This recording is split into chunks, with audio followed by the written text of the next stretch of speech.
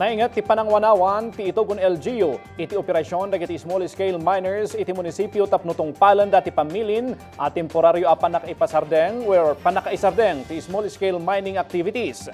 Asosasyon dagiti small scale miners sinigurado da nga agtungtong palda iti pamilin ti lokal a gobyerno. Ada report ni Jodel Tumelden. Naingat ti monitoring dagiti otoridad iti Togon Benguet iti panagtumpal dagiti small scale miners iti munisipyo iti pamili na temporaryo pailaang ti panakaisardang ti small scale mining activities kas panaganad iti epekto ti bagyo a Christine.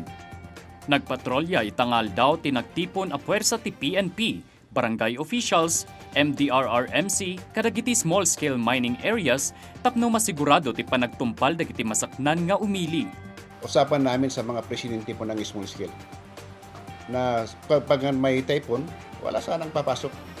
Kasi alam nila, pag may nangyari yun, hindi lang sila ang nakuan, pati kaming mga opisyal, lahat kami napiktado dyan. Kaya nakikiusap kami sa, sa kanila lahat. Nagipatumpal iti oplan tangguyop ti Municipal Police Station ti Togon tapno mapabiswan dagiti umili nga asidag kadagiti delikado a lugar tapno agbakwit adagos dagiti residente.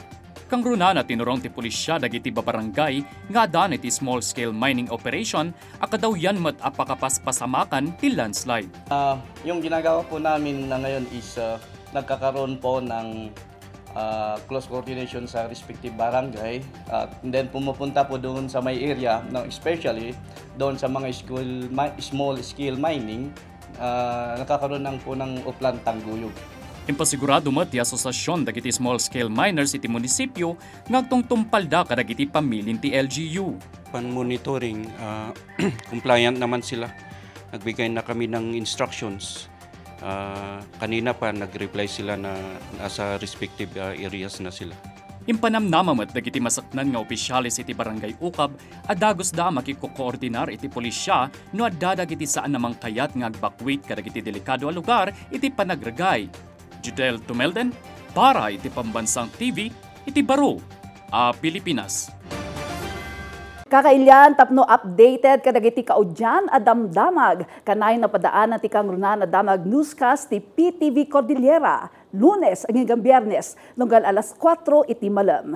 I-like, i-follow kan ag-subscribe iti social media platforms ti PTV Cordillera iti Facebook, TikTok, ken YouTube.